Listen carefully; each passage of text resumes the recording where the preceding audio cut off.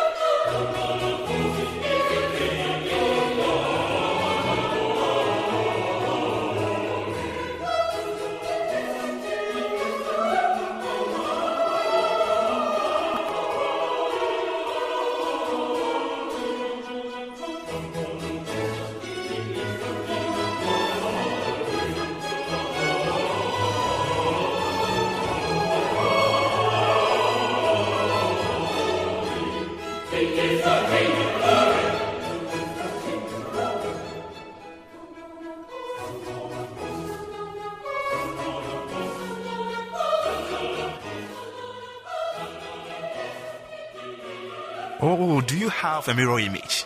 I hope you do. Come join me as we take a purposeful contemplation of our lives. This is the program Reflection.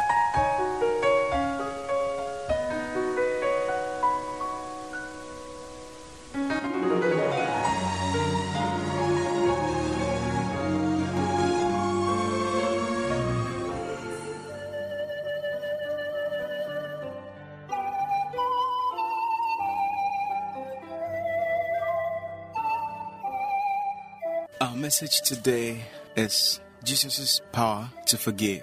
And we take our reading from the book of Mark, chapter 2, verse 10. And it reads, That ye may know that the Son of Man has power on earth to forgive sins. He said to the paralytic, I say to you, arise, take up your bed, and go your way to your house. Unable to walk, the paralytic had to have his friends carry him everywhere. His four friends placed him on a stretcher. We don't know how far or how long they walked, perhaps several days. Looking for Jesus, they finally found him, but he was in a house so filled with people that they couldn't even get in the door. But where there is a will, there is a way. When we are determined to see Jesus and have faith in what he can do, we will find ourselves able to enter his presence. So they climbed up to the flat roof. The men carrying the stretcher removed part of the roof and made a hole big enough to let the man down with ropes into Jesus' very presence. When Jesus saw their faith, he said to the paralytic, Son, your sins are forgiven you. The biblical world considered sickness punishment for sin. Jesus knew what the paralytic thought and eased his mind by forgiving him. When we turn to Jesus, he forgives our sins. And as a child of God, we then can endure the suffering. Jesus can heal us immediately as he did the paralytic, or at a later time, or maybe not at all. Whatever he sees will be for our eternal good. Theologians in the crowd accused Jesus of blasphemy because they did not acknowledge him as the Son of God. They said, Who can forgive sins but God alone? Jesus, knowing how they reasoned, said, Which is easier, to say to the paralytic, Your sins are forgiven you, or to say, Arise, take up your bed, and walk? He said to the paralytic, I say to you, Arise, take up your bed, and go your way to your house. The people in that crowded house were amazed and glorified God.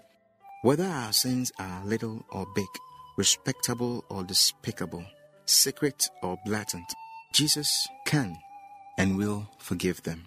Our message today was by kind courtesy of Daniel Guild, and I am your presenter, Kofi Ba Nete.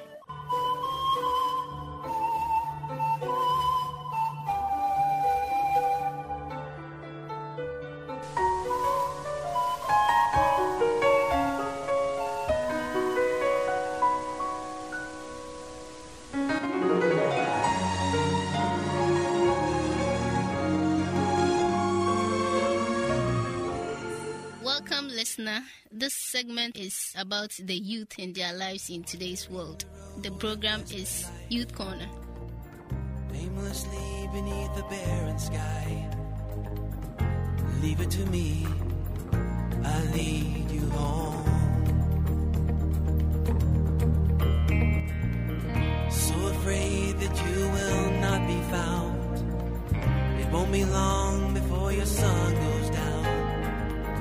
Just leave it to me, lead you.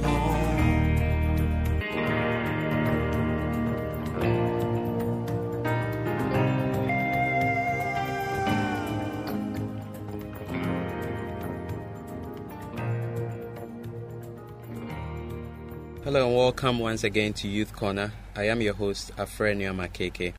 Today with me to do the discussion are Amos Ashrifi and Jared Ofe.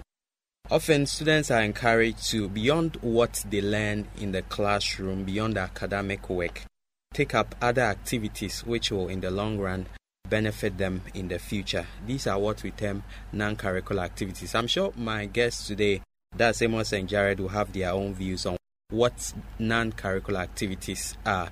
To look at some typical examples of non curricular activities and what such activities Christians could take up and which ones would be acceptable in that particular regard. Amos and Jared, welcome to Youth Corner. Thank you. All right, so I'll start with you, Amos. What are non curricular activities? I should say non-curricular activities are activities which does not actually pertain to one's main line of concentration. For example, a student, any activity you involve in which does not pertain to your classroom work, I would term it as a non-curricular activity. Okay, so those activities that do not necessarily pertain to the classroom work. It's exactly Emma's definition of uh, what non curricular activities are. Let me come to you, Jared. I think I also side with him. Non curricular activities are also activities that are outside our academic work, what we do outside studies. And these include sports, these include participation in clubs and associations. I was going to ask you to give me examples, but Jared has talked about examples like club activities, for instance, Students Association, for instance, or Business School Students Association. But Amos, what are some other examples of non curricular activities? Yes, let's take Valley View campus. Mm-hmm. One example is with the singing groups. You realize that you have a lot of people joining singing groups, and this actually does not pertain to the classroom work. So, this is a very good example where I know both of you have actually completed your four year academic work, but whilst you were in school, Jared, do you have any personal experience of participation or taking up a non curricular activity? Yes, I was the president for the Marketing Association on campus. And I was leading the association. We were a team that we brought out activities and we also brought out programs outside academics and even sometimes related to, ac- to academics that would also help us build our studies, including field trips, corporate tours, attending seminars, and so forth and so on. What was your personal experience of that? How did it feel like, and how did you get into it in the first place? Personally, I think I got it out of interest. Actually had an interest in the association. So right from when I came, I started associating myself with the leaders as at then. I started learning from them, getting experience, and then when I reached my fourth year, I decided to take up a leadership position in the association. When exactly did you start that? During my first year. What was the experience like? At first, it wasn't that easy.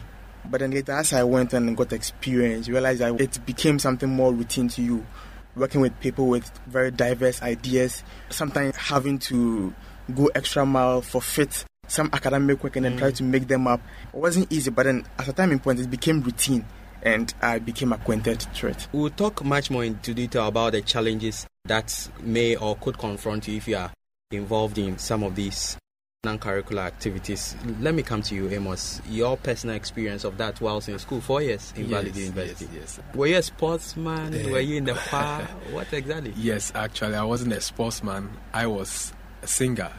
I joined a choir, and I also joined one of the a cappella groups. Mm. Yes, and also at a point in time, I became the auditor for the SRC. All these things actually did not relate to my classroom work. This actually was my experience when I was a student. That's pretty interesting. Where in the choir you sang a cappella, yeah. at one time also yeah. an auditor for the SRC. How did it feel like? because I take the music aspect of it. That was an area I had so much passion for. So I just looked at it and I felt I should be. Anyway, someone just spotted me when I came to campus. I actually came, made up my mind. I'll be quiet this time around, I'm not singing. Mm. But someone who knew me before said, No, this guy, I know that this guy sings. So that person spotted me. I joined a group. I happened to be in that group with one of my lecturers. So I had no option to, you know, stay and be focused. And it was interesting, actually. Mm, maybe after this discussion, you can give me a bit of that as well, your cappella. But then the Bible says that as Christians, we should let our light so shine before men that they will see our good works and glorify our Father in heaven. I'm sure it is not necessarily any non curricular activity that uh, we would or are supposed to involve ourselves in. Uh, looking at this particular uh, passage in the Bible, let's look at typical examples of non curricular activities that would be acceptable for all Christians mm-hmm. whilst in school. One main area is joining the choir but also it depends whether the person is a person who really is into music. Well, some people will say it doesn't matter whether you love it or you don't. When you come, we will train you. If you even don't have the voice, you will be okay at a point in time. So, for Christians and especially on campus here, when you look at it, one main area is joining the choir. Also, you can be with the deacons and deaconesses to help in putting the house of God in order for service on campus, I think these two areas are very key if you really want to. Uh, okay, so in a minute, I'll take your view on same, uh, Jared. Typical examples of non-curricular activities that Christians could take up whilst in school. They might include singing, as it was singing in church or in the choir. Also taking some leadership positions in the church, and also uh, ushering. You know, being an usher in the church, and sometimes being playing instruments in the church. These are all some that we could take up. Okay, so on that note, we end this edition of Youth Corner. My name is Afre Nyama Keke. I've been here with Jared Ofair and Amos Esrifi. We have been discussing non curricular activities. We've talked about what they are, uh, examples of those, as well as their personal experiences whilst in school, four years in the university, much more specifically. Join us same time as we continue uh, this very discussion of non-curricular activities.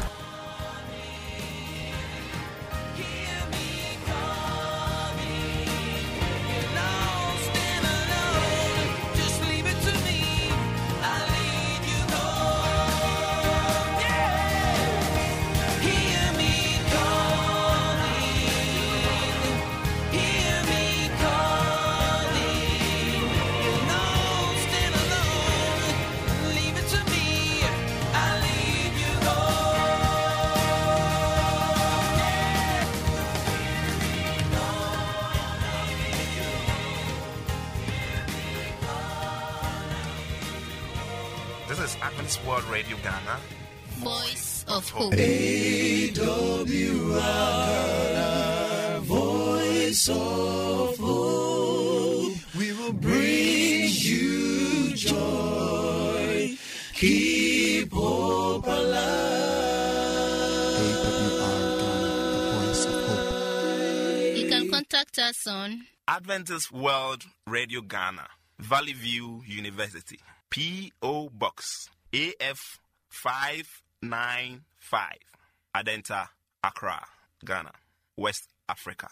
Or if you have access to the internet, send us an email through radio at vvu.edu.gh.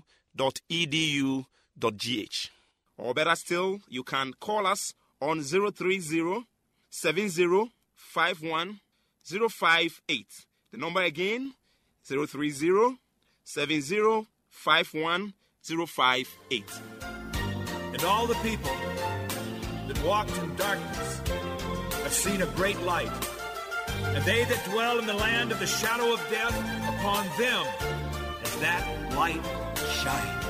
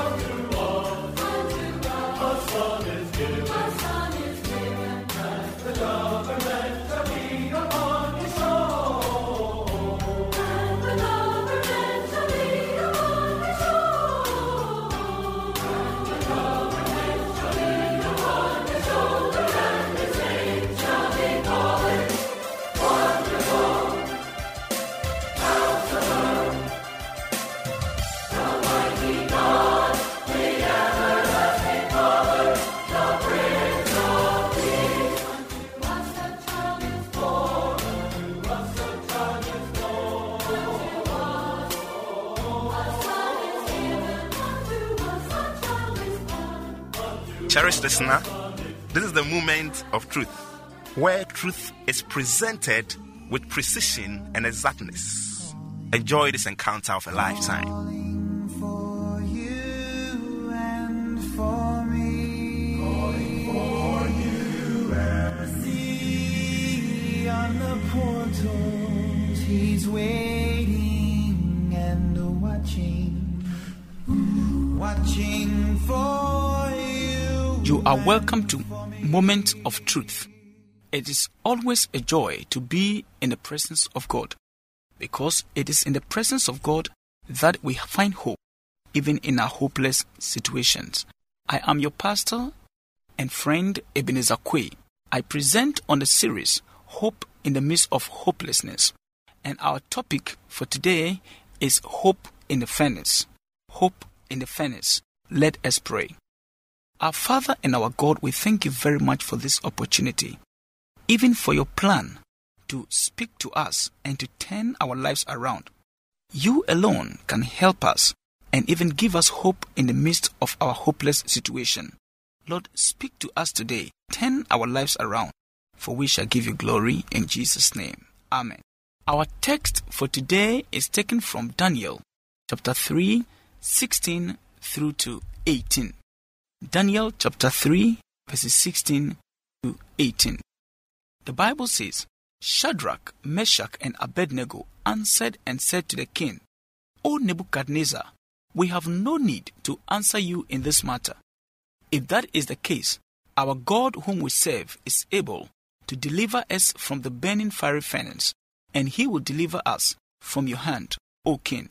But if not, let it be known to you, O king, that we do not serve your gods, nor will we worship the gold image which you have set up. This is the word of God. Friend, this did not happen in a vacuum. These three young men, Shadrach, Meshach, and Abednego, they came face to face with lives threatening issues.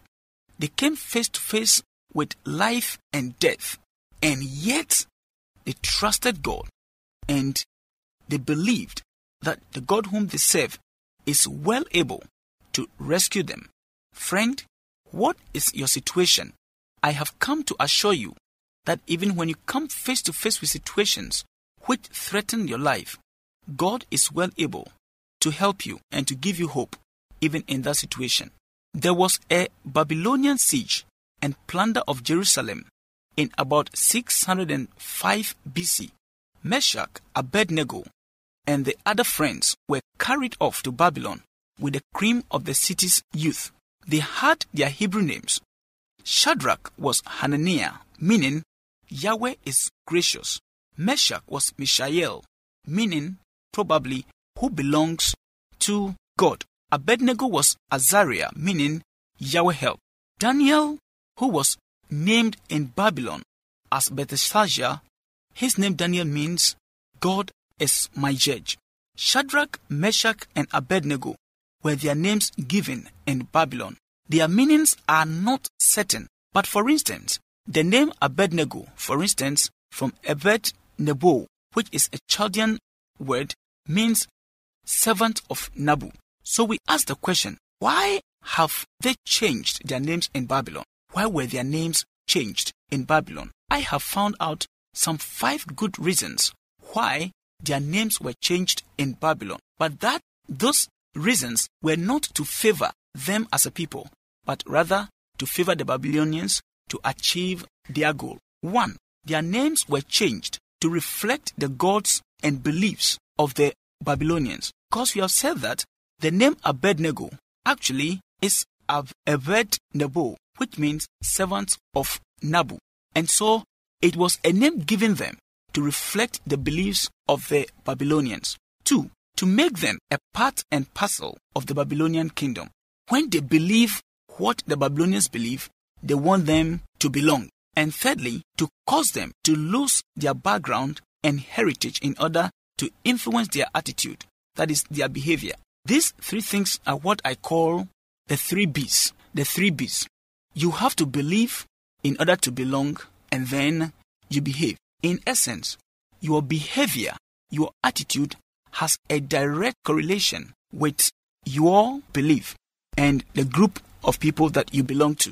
The fourth point is that their names were changed in order to make them lose their identity, for them to forget about their heritage, for them to forget about where they are coming from, for them to forget about their beliefs, their names were changed. The fifth reason, which is the final reason why their names were changed for the Babylonians to have nothing to do with their God. If they call Daniel Daniel, which means God is my judge, then they are pronouncing a belief in the God of Daniel and the other three friends. So they have changed their names so that they had nothing to do with their God. These three boys plus Daniel, according to Daniel chapter 1 verse 8 Bible says, but Daniel purposed in his heart that he would not defile himself with a portion of the king's delicacies, nor with the wine which he drank. Therefore, he requested of the chief of the eunuchs that he might not defile himself. This situation happened when in Babylon they were put in a school of the king to be trained to become people who are going to work in the court of the king.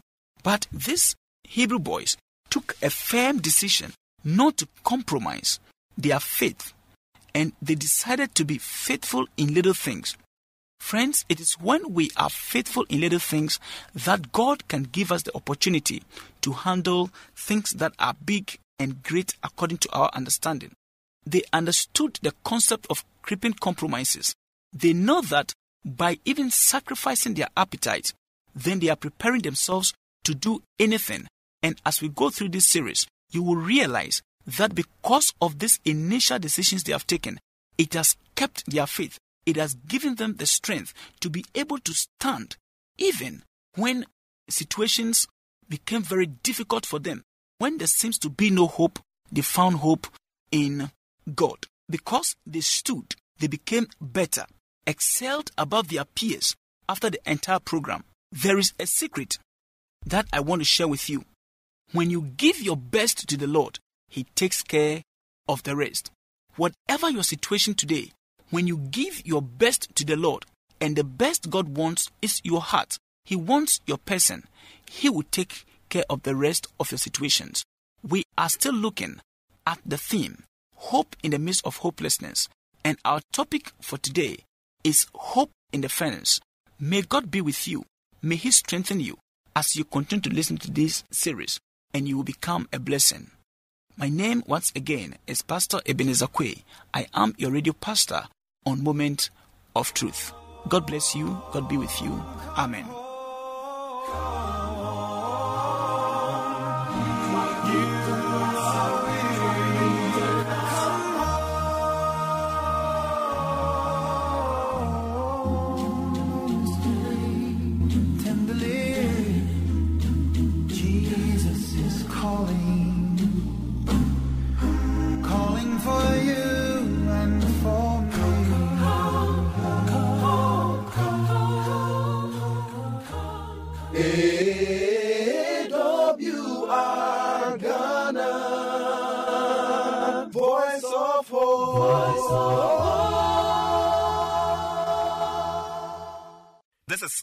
Address Adventist World Radio Ghana, Valley View University, P.O. Box AF 595, Adenta, Accra, Ghana, West Africa.